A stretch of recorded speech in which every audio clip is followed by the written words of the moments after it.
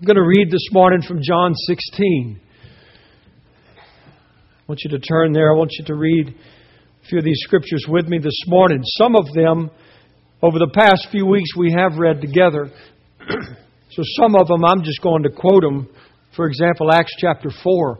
I'm just going to discuss that because we've studied it and talked about it, and I just will say it to you. You'll remember it.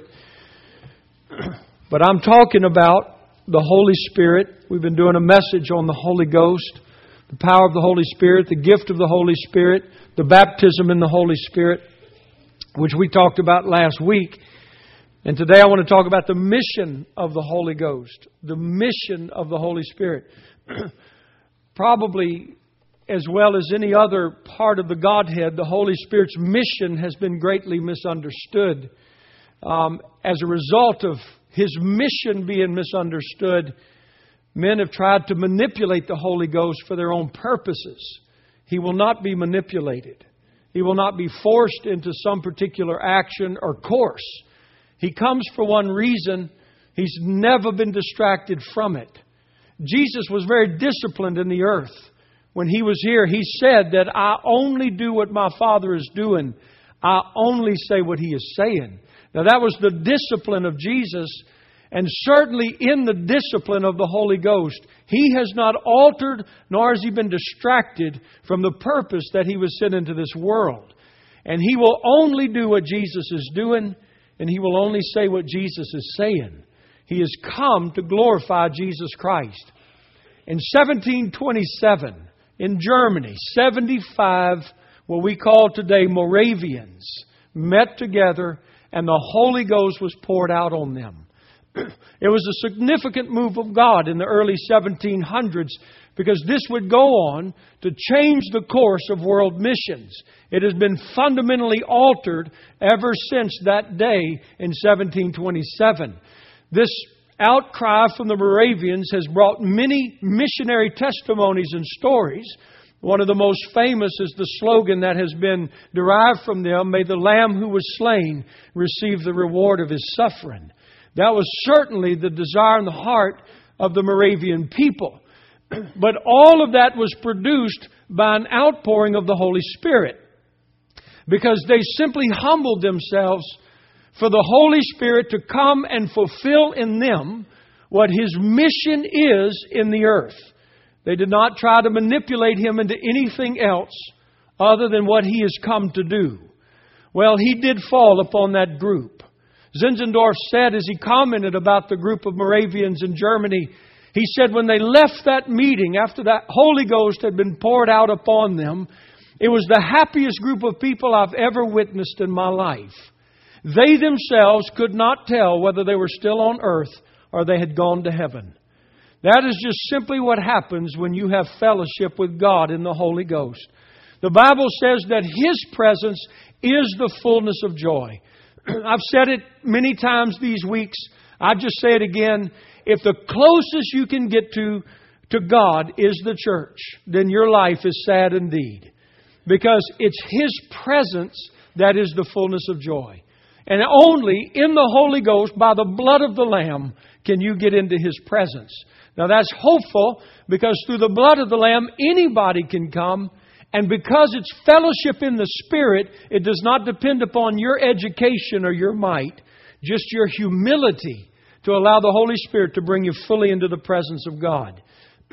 From this outpouring of the Holy Ghost on those Moravians, it has been recorded in history that in 20 short years, these Moravian missionaries did more for world missions than the last 200 years. That's a recorded historical fact. Out of the Moravian Pentecostal revival came the Salvation Army, it came the Christian and Missionary Alliance, and came many other wonderful missionary organizations throughout the world. It had a profound impact upon ministers of the gospel that converted them to Jesus Christ, even though they were preachers of the New Testament. It has been recorded in history that John and Charles Wesley had been in the United States and were traveling back over to Europe on their way home.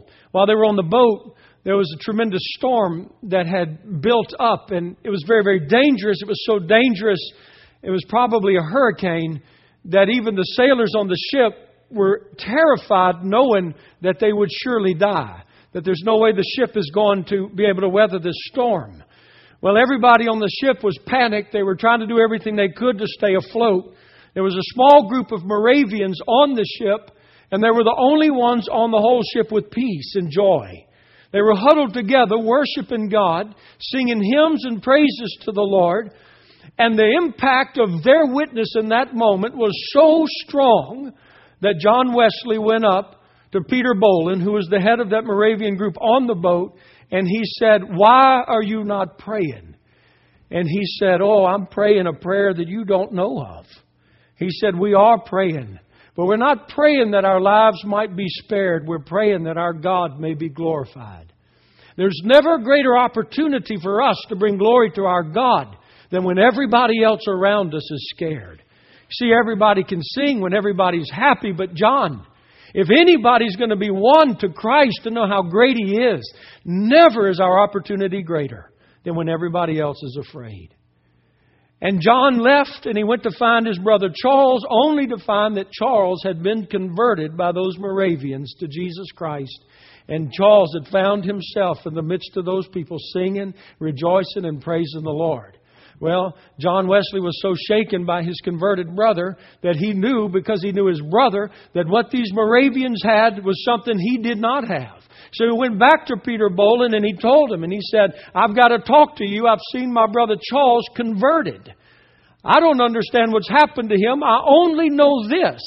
I do not have what Charles has. I do not have what you have. What must I do? And Peter Bolin said to John Wesley, he said, It is all by grace. It is all by grace. And John said to him, He said, I don't have this grace. He said, Mr. Bolin, what must I do? Should I stop preaching because I don't have grace? And Peter Bolin said, No, John. Preach grace because it's in the Bible. Preach it until you get it. And then when you get it, preach it because you have it. And it changed John Wesley's life. And the Moravian Christians had a direct impact upon a denomination that in its heyday was one of the strongest gospel preachers that the world has ever known. And Methodism swept the entire globe, influenced by the Moravians. Those men on that boat saw the conversion of John and Charles Wesley to Jesus Christ by the grace of God. You talk about an impact that they've had upon the world. These Moravians, under the influence of the Holy Spirit, a Pentecostal move of God, the first thing that they did was divide their days up into four hour segments so that they would pray one, that they would pray 24 hours a day, nonstop, unceasingly. And they did this for 100 years. 100 years. Those Moravians prayed. Unceasing, 24 hours a day, laboring before God. I'm going to tell you something. Only the Holy Ghost can move a people to live before God like that. Because you see, you're not going to worship what you don't see. You're not going to worship an ideal. You're not going to worship doctrine. You're going to worship Jesus that you see. And if you don't see him, you won't worship him. And you'll never see him apart from the Holy Ghost. He's the only one that can show him and part of his mission in the earth is to take what belongs to Jesus and show it to us. Oh, I do pray that all of us would see today our Lord Jesus Christ. In John 14, I'm sorry, John 16, verse 14, Jesus said, He shall glorify me.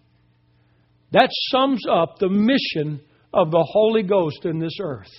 He's going to convict of sin in order to glorify Jesus Christ. He's going to bring judgment in order to glorify Jesus Christ. He's going to save to glorify Jesus Christ. He's going to forgive sin in order to glorify Jesus Christ. He's going to heal to glorify Jesus Christ. He's going to put broken lives together to glorify Jesus Christ. He's going to fall upon every hungry heart to glorify Jesus Christ. He's going to preach through the preacher to glorify Jesus Christ. He's going to heal to glorify Jesus Christ. He has come to glorify me. That's what Jesus said. Now, I've said this enough, but I believe it just bears repeating this morning. I want you to understand the Holy Ghost is God. He's not a force. He's not an impersonal being. He has extreme personality. The Bible says that he can be grieved. He can be offended. The Bible says that the Holy Spirit can and often does withdraw himself from the very people he's come to fill. He'll do all of these things. He has a personality. He is the person of God. He is the third person of the Godhead. There are three God the Father, God the Son, God the Holy Ghost. I would take nothing away from the Holy Spirit in regards of worship. I believe it is appropriate to worship the Holy Ghost as you would worship Jesus or worship the Father. I believe it is appropriate to ask for the Holy Spirit to give you strength and assistance and recognize Him and fellowship with Him because the Bible says that our fellowship is with God in the Holy Ghost. Well, you must have fellowship with the Holy Ghost if you're to have fellowship with the Father and with His Son. It is the means by which we have fellowship with Him. It's appropriate to talk about the Holy Spirit. It's appropriate to understand the Holy Spirit. It's appropriate to respect the Holy Spirit. It's appropriate to honor the Holy Spirit. It's appropriate to draw attention to the Holy Spirit. But never forget this that when it is a move of the Spirit, He always, always brings all of the attention on Jesus. Always.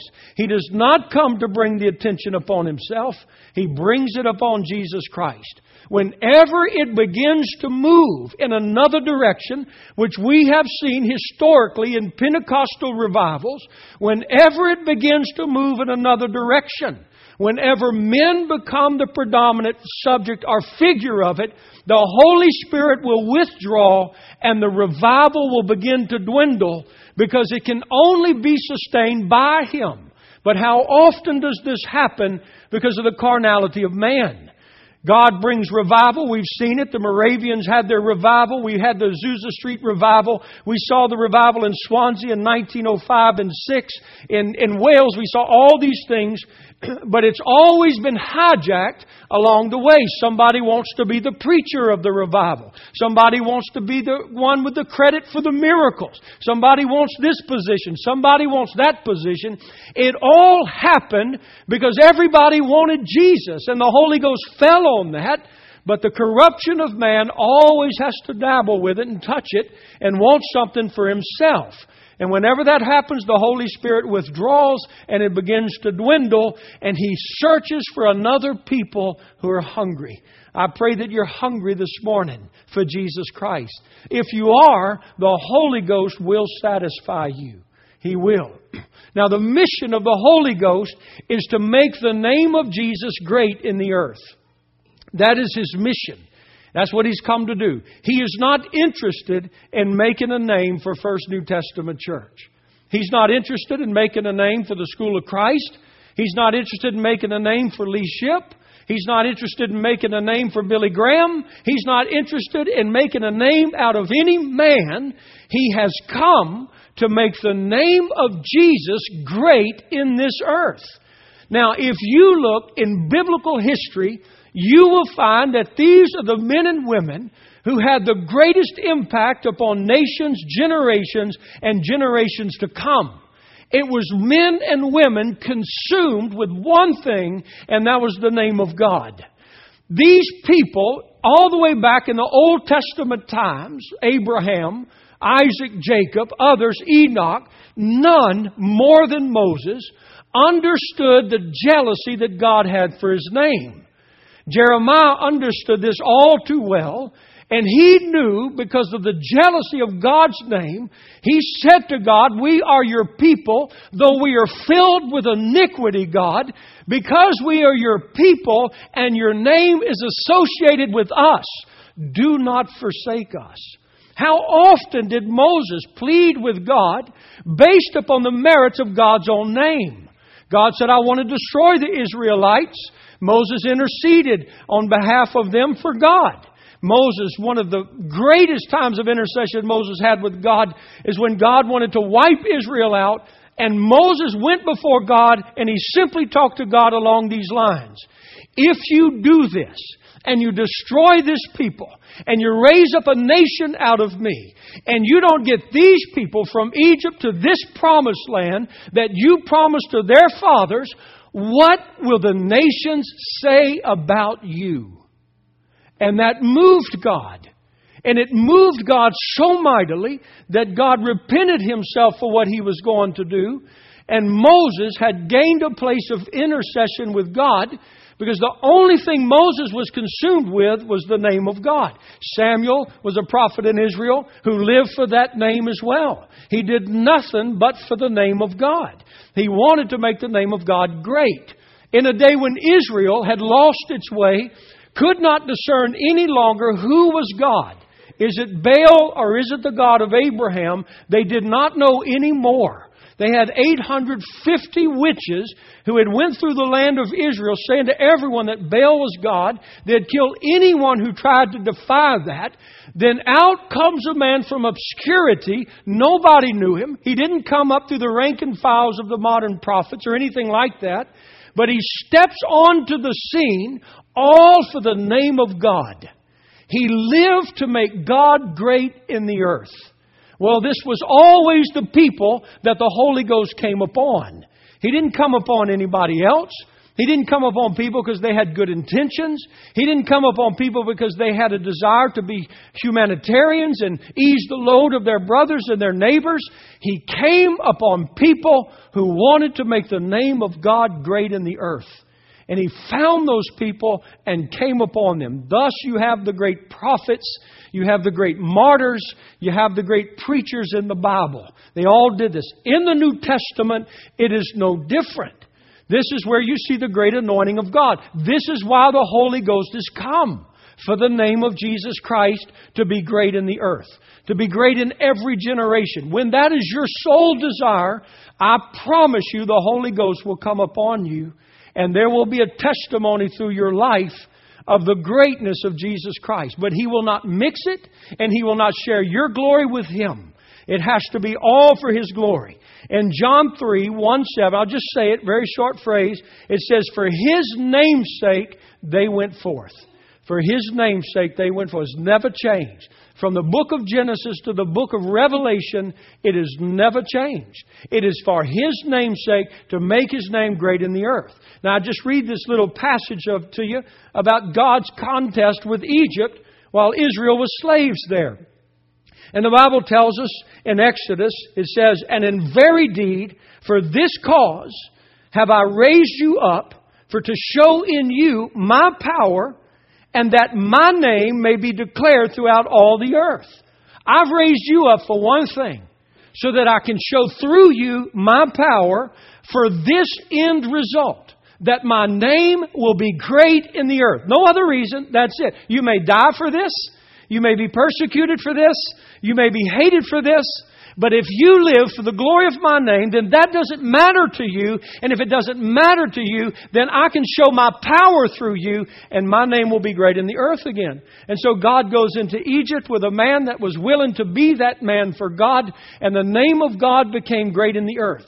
The name of God filled the earth and struck terror in all of God's enemies. As a matter of fact, when they approached the promised land and they had sent spies into the land, they were about to come into the land to take the land as their promise, then one woman in Jericho made this statement. Now listen, this is the fame of God because one man at a burning bush was defeated by God and said, I'll be that man. I can't speak, but you speak through me. I don't know how this is going to happen, but do it through me. I want your name to be great in the earth. Who are you that I might tell people about you? I don't want to go in Moses' name. I don't want to go in Aaron's name. I've got to go in your name. What is your name? You see the passion right there from the very beginning.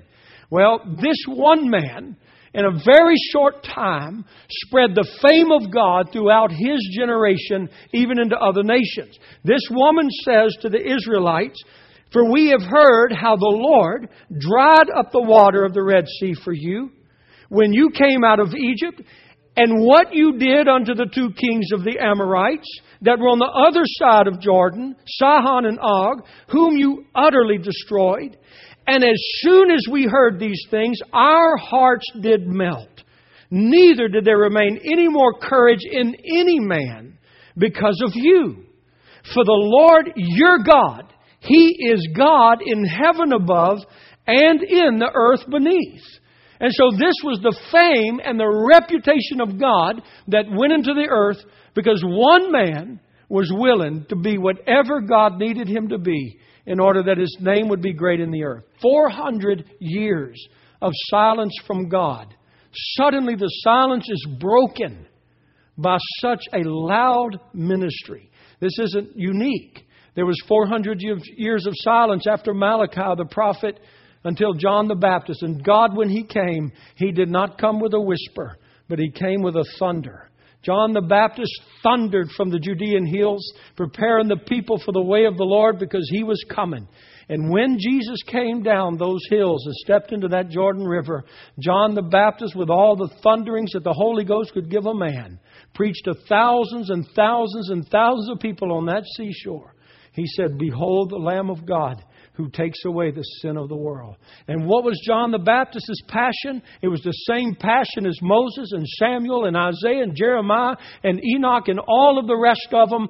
I must decrease and he must increase. I'm telling you something, people. That's the person the Holy Ghost fills. That is the person that the Holy Ghost comes upon. We've become so professional in our ministries. We've, we've just put it in, we put it out. We want something from it for ourselves. We want some type of recognition. We want people to love us. We want people to accept us. We want to be popular. We want to be wealthy. No wonder the Holy Ghost takes a back seat and we wonder where is His power? Where is the authority of God? Where are the conviction of souls?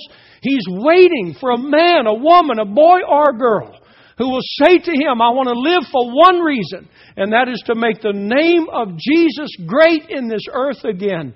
And if it's by life or death, so be it. But I want to live for that reason. That is who he's looking for, and he looks for no other. Now, the Holy Spirit is very, if, if I could use the word, excited. He's very excited to provide a demonstration of Jesus' being alive. He wants to do it. We've read this in Acts chapter 4 how Peter and John passed this man who's crippled, crippled from birth. He was carried everywhere. Everywhere he ever went, people had to carry him.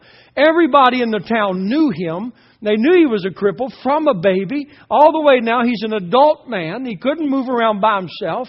And then one day the Holy Ghost moves in Peter and John and they simply tell the man, we don't have any money, but we've got something greater than that. We have Jesus and in the name of Jesus, rise up and walk. It was a command because it was the Holy Ghost speaking.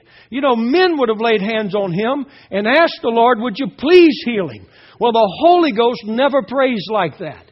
When the Holy Ghost fills you, now you may pray like that over circumstances and situations that you don't know, but when the Holy Ghost fills you, He is never going to pray, Will you please do something? He knows the mind of God. He knows what Jesus is doing, and He issues a command rise up and walk. And he told Peter and John in that they speak to this man, issue a command, and the lame man gets up and he walks. Never walked before in his life. I mean, not only are his legs healed, his muscles are there, and he has the ability to keep his balance and walk around. It's a miracle all the way through. Well, they take Peter and John, bring them before the courts, bring them before the religious leaders of their day, and the religious leaders want to know one thing by what name or what authority did you do this in? And then the Bible says, and being filled with the Holy Ghost. Now, I just love that because the Holy Spirit did all of this, and He's not going to let a man ruin this now. And so the Holy Ghost speaks through Peter. And the Holy Spirit says, The one you crucified, that I have raised up, the cornerstone that you have rejected, The name by which men must be saved, Jesus Christ, Jesus of Nazareth, is the reason this man is whole and walking around here today. I, the Holy Ghost, am given proof and evidence that Jesus you crucified, I have raised up. He is alive. Now, how did the Holy Spirit produce that? He did it through men like you and me. They were just simply instruments by which the Holy Ghost could move. He's still in the earth to do that today. What other power is going to challenge Rome? What other power is going to silence the great authorities of government? What other powers are going to deal with the occultism that was in the Greek world in that day? What other power is going to do it but the power of the Holy Ghost? In their day, they were not afforded the luxury of soft speeches and nice little sermons. They had to cut into the hearts of the men and women who handed over the Prince of Life in order that he might be crucified. They rejected the Son of God, and these men and women of the New Testament Acts had to go to those very men and women and declare the Christ you crucified, God has raised up and given him a name above every name. What man or woman has the courage to do something like that? Not only the courage, but how else is anybody going to get past their past to even do it? You and I know all too well the power of sin upon us. We all know too well how easy your past is able to trip you up from doing anything good for God. God wants to use you, you want to be used of God. And just as soon as those desires are met together, there is the devil bringing up your past and the devil brings your past up, how dare you? Who do you think you are? You're not worthy to represent God. You're not holy to represent God. You're not strong enough and mighty enough. But what I read in the New Testament scriptures and in the Old Testament, God's not looking for power, He's looking for weakness. God's not looking for people who have their life all put together. He's looking for people whose lives are scattered. They can't put it back together. They trust a living God who will, and God takes weakness so that He can demonstrate His power. Oh, that's what he does. There's a stammering Moses who says to God, We make him great. He never made himself great. A stammering Moses says to a living God, I can't even speak. You've got the wrong man. God says, I know who I've got. I made your tongue. I will use it. God was, he was a weak man. He wasn't a strong man. God comes to Gideon and he says, Oh, thou mighty man of valor. Gideon said to the angel, You've got the wrong man. I'm not a mighty man of valor. I'm the least in my father's house. And if I was so courageous, why would I be treading out the wheat in the winepress so that I wouldn't be caught? I'm not a strong man. I'm not a courageous man. And God said to Gideon, Don't you tell me who or what you are. I'm going to make you that mighty man. Jeremiah says to God, I'm too young, I'm just a kid. Nobody's going to listen to me, God. I'm just a child. And God interrupts him, says, Don't you tell me what you are. When I fashioned you in your mother's womb, I know what I was making you. I know where I'm sending you. You will stand before kings, Jeremiah, and I will give you the word to speak. And he did. He did it. Paul was great because he was weak. We make him great he made himself weak. Paul said, I'm a weak man. Don't make me a great man. Don't think that my success was my intelligence. Don't think that my zeal was the reason churches were produced in Corinth and Ephesus and Rome or anywhere else. It wasn't me. In my weakness, He was my strength. How many times do we transform that and by transforming it, we make Moses out to be something he wasn't, Jeremiah to be out something he wasn't, Gideon to be something he wasn't, Paul to be something he wasn't, and we look at our own miserable lives as we consider them to be and say, God, I'm just nothing. I don't know how you can use me. Is that the truth? The Holy Ghost comes into the most broken and shattered lives and puts them back together. Listen, it's just the wonderful way that the Holy Ghost does it. He didn't take anybody. At least John. At least John followed Jesus everywhere he went on the night of his trial. John's a great man. He's a lover of Jesus. Jesus loves him. John is there. He's not right up beside him, but John is there. He has access to the courts. He has access to the trials. He's following Jesus everywhere he goes. John is standing there at the feet or at the foot of Jesus' cross. John is there holding Jesus' mother. Jesus speaks to John and he says, Behold your mother. And he says to his mother, Behold your son. I mean, John is there. It's like he's not afraid. He, he's, he's a lamb who wandered but never strayed. He's right there in the midst of everything. But when it was the day of Pentecost, the Holy Ghost did not preach through John. He didn't preach through Matthew. He didn't preach through Thomas. He took Peter, who openly denied the Lord of glory. He denied him. He was afraid of him. He didn't want to be associated with him. And Peter, who rejected his God, was the one the Holy Ghost took past his past, took past his failure, took past all the reasons why he could not preach, and he used him as the preacher that day. The Holy Ghost could have used anybody but he took a failing, miserable disciple who failed in everybody's eyes, all, not, not to the point of Judas Iscariot, of course, but Peter's failure is recognized as clearly as Judas's was, and the Holy Ghost said to Peter, I want you to preach this message to the people who crucified Jesus, because I want these people to know if I can get you past your past, I can get them past their past who murdered the Lord of glory. And he did, didn't he? Thousands repented, gave their hearts to Jesus Christ, were forgiven for murdering the Prince of Life, and were ushered in into the kingdom of God. You talk about the power of God. What else could do that? What are we going to do to challenge black magic? What are we going to do to challenge the occult? What are we going to do to challenge witches and warlocks? What are we going to do to challenge Hollywood? What are we going to do to challenge the movies that are inundating our young people with witchcraft, vampires, and, and, and the dead and everything? All of the, what are we going to do? Our nice preaching isn't going to do it. Nice little sermons, nice little talking. God needs prophets today. He needs people that'll speak the truth and speak what He gives them to say. And let the Holy Ghost deal with man the way God wants to deal with man. He wants to stir up the venom of the lost. He wants to stir up the passion of the saved. He wants all men to come to one truth. You're either with me or you are against me. The church has clouded that line for too long. We've made it so gray. We've made everybody feel like they're a part of the kingdom of heaven, but everybody is not. And if Jesus is coming soon, I believe, as Moses drew the line in the sand, the Holy Ghost is going to use us to draw the line and let people know whether they are in or out with Jesus Christ. And if that's going to happen with your life, you get ready. You get ready. Because you're going to begin to be treated like the New Testament saints were treated and the Old Testament prophets were treated if you speak the Word of God. It's easy to preach a little sermon, make it so pretty, let everybody love it. But what does God want to say? What does He want to say? What does He want to do? This is the issue. The Holy Ghost has come so that people all over the world would be able to know the living God and worship Jesus Christ and live forever with God because of the blood of the Lamb.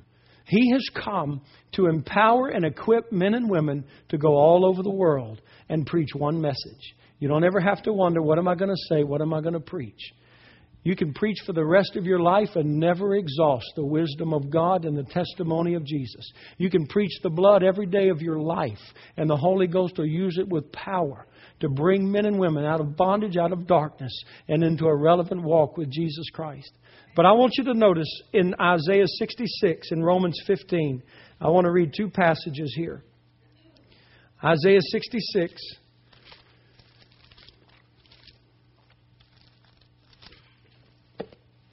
He tells us in verse 18, I want you to see this. This is what he comes to do. Humanity is blinded. It's blinded by a devil that has more authority and more power than you as a human could ever possess. What power do you have to challenge that devil? And what power do you have to force that devil to let go of the things that he has deceived? What power do you have? And that only power is the Holy Ghost. Holy Ghost authority, Holy Ghost power, Holy Ghost preaching of the gospel of Jesus. He tells us in verse 18, For I know their works and their thoughts. It shall come that I will gather all nations and tongues, and they shall come and see my glory. That's what God desires. I want people to come. Remember what Jesus prayed in John 17? Oh, Father, I pray that they might be with me. And I pray that they would be able to behold the glory that I had with you before the foundations of the earth. I want people to see this, God. I want them to be in it. And here in Isaiah, God is even saying the same thing that they shall come and see my glory.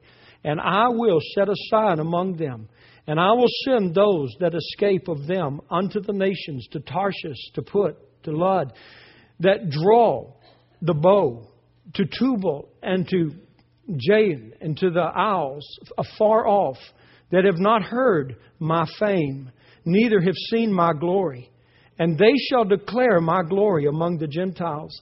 And they shall bring all your brethren for an offering unto the Lord out of all nations upon horses and in chariots and in litters and upon mules and upon swift beasts to my holy mountain Jerusalem, saith the Lord, as the children of Israel, as they bring an offering in a clean vessel unto the house of the Lord. Now, all of these animals that God mentions are the means by which He, it speaks of how quickly God is going to get all of the people to Him. It's just whatever's there that he can get and put the people on. He's going to get them to Jerusalem so that they can be around the throne of God and they can see it. And we understand it would speak of the millennial kingdom of Christ when he comes and, he, and he's reigning and the Gentiles are coming to him.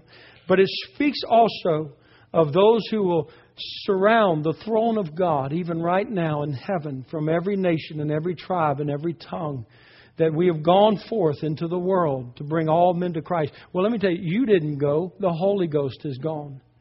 The Holy, and, and if you've gone anywhere in this world, it's because the Holy Spirit somehow filled you up and brought you. That's all He did. And if you didn't go, it doesn't mean you're a worthless life. It just meant the Holy Ghost filled you so He could use you to send somebody to go. See, it's not somebody's more special than another. It's not those that go are more holy or special than those that don't go. It's the Holy Spirit has to use everybody to make the whole thing work. And he goes into the earth. He's come, he's the witness. He goes into the nations, and he pulls people who are blinded by this immoral, immortal devil. And he pulls people away from these false gods. He pulls people away from these false religions. He convinces them of the blood of the Lamb. He convicts them that they're sinners. And he convinces them that Jesus is the only Savior and men and women and boys and girls all over the world fall on their faces before a Jesus they've never known and are introduced to Him by the Holy Ghost, and they are suddenly and instantly forgiven, instantly transformed into new lives who rise up from that as worshipers of God. No other power on earth but the Holy Ghost can do something like that. Paul said in Romans chapter 15, I do want to read this because I want you to see what the Lord does.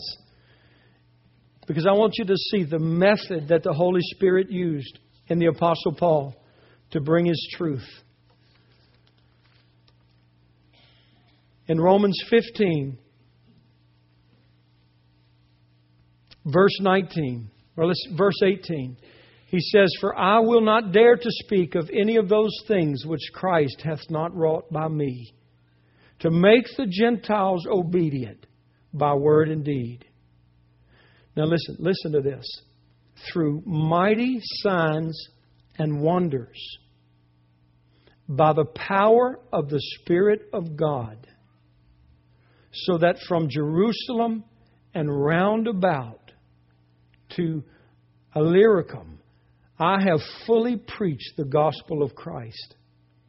Yes, so have I strived to preach the gospel, not where Christ was named, lest I should build upon another man's foundation. But as it is written, to whom he was not spoken of, they shall see, and they that have not heard shall understand. For which cause also, I have been much hindered from coming to you because Satan certainly doesn't want this to happen.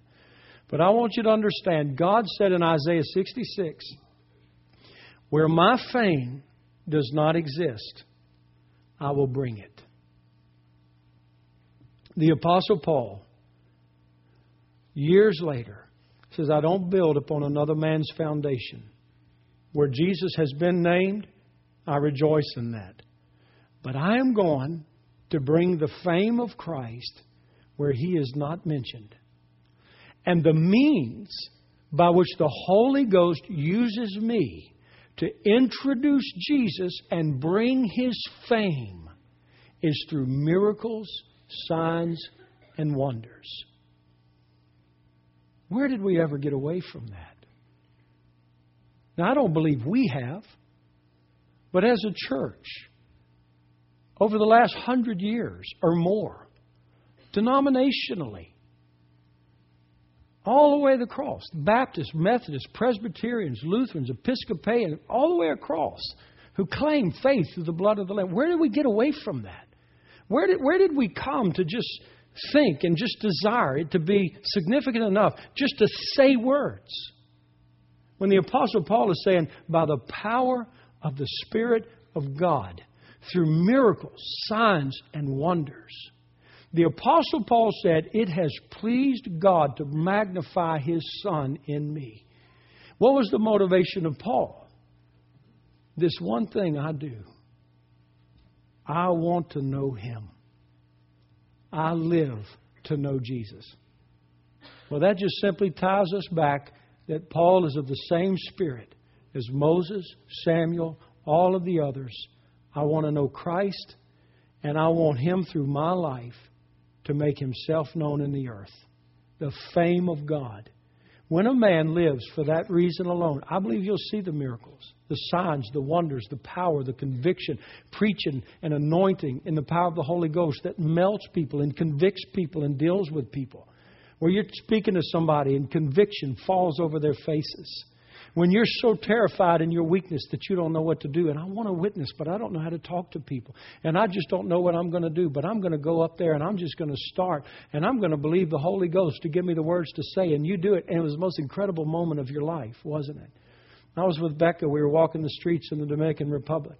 And she was with me. I just wanted to take her around that day because I could see in her she wanted so badly to witness to somebody. She just wanted to. So we're walking around. I said, All right, Becca, we're going up to this guy. He's yours. You do it. I, I, I, don't, I, don't, I don't know. I said, The Lord's going to give you the word. Beautiful. I mean, she opened her mouth. The Holy Ghost started to speak. The man fell under conviction and he's asking Jesus to be his Savior. But what did it do to her?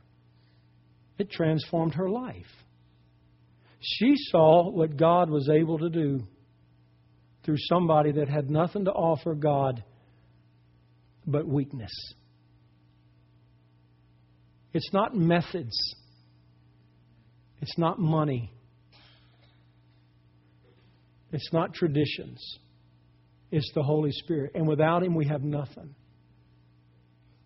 But with Him, we have everything. I want to close with this testimony of possibly one of the greatest revivalists that has ever lived.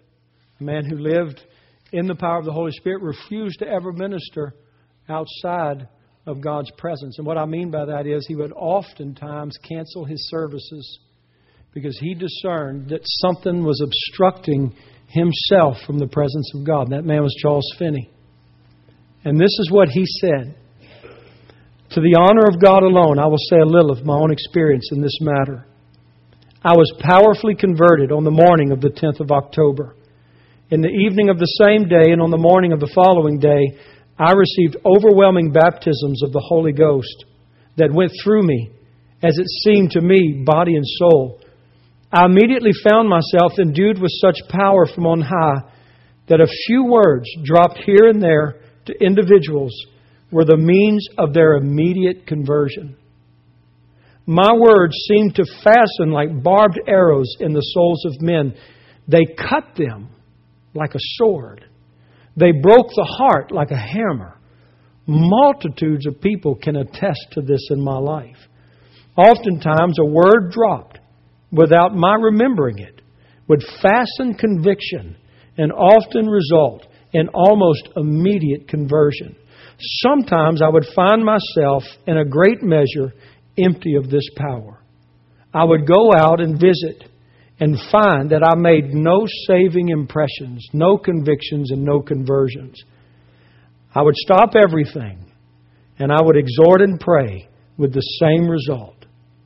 I would then set apart a day for private fasting and prayer, fearing that this power had departed from me, and would inquire anxiously after the reason of this apparent emptiness. After humbling myself and crying out for help, the power would return upon me with all of its freshness. This has been the experience of my life. How content are we to be filled for the moment, but not filled for every day?